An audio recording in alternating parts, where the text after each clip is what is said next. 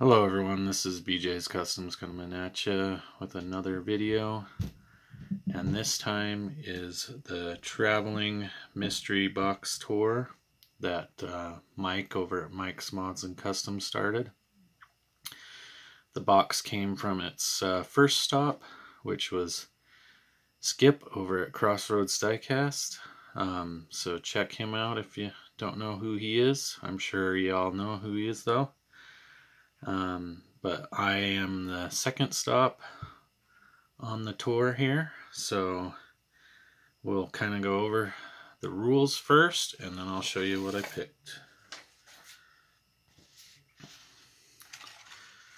So the rules are here as follows. It says, Hello, thank you for joining the Traveling Mystery Box Tour. I'd like to keep this simple and fun. Rules are as follows. Uh, don't show contents of the box in videos or photos. Remember, it's a mystery. Go through the castings, take what you like. Catch is you have to replace what you take. Also, keeping 12 castings, but actually there is 16 castings in this box uh, for the next uh, person make a video showing what you kept, explain the process, and pass the box along to someone else, keeping within the U.S. to save on shipping. Um, in all social medias, please tag Mystery Box Tour.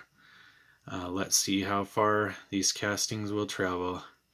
If they get back to me by 2024, great. If not, that's okay. Oh, don't forget to sign the card. Mike's Mods and Customs. So speaking of the card, this is the card here. So everybody signs it uh, with what city they're in and state and all that. And uh, just pa pass it along with the cars. So uh, with that being said, these are what I picked here. So we got this one, the 64 Nova Gasser Supernova. So that's pretty sweet there. Set that one off to the side. And then this one, is so sweet. This Ford, uh, 56 Ford uh, delivery truck. I think this was from um, 1998, so 99 series. So that's an old school one. I've had this one before, but I'm not sure what happened to it. so that was a good find in there. And then we got this guy here, which is super dope. I forget the name on this one.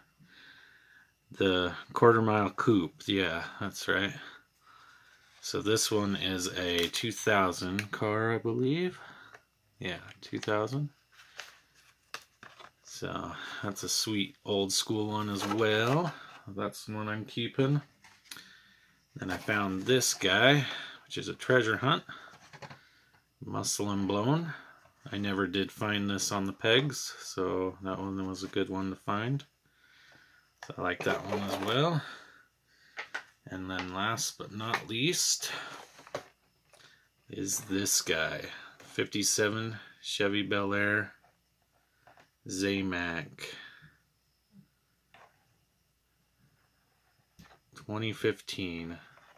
That one's amazing. This is probably my favorite here.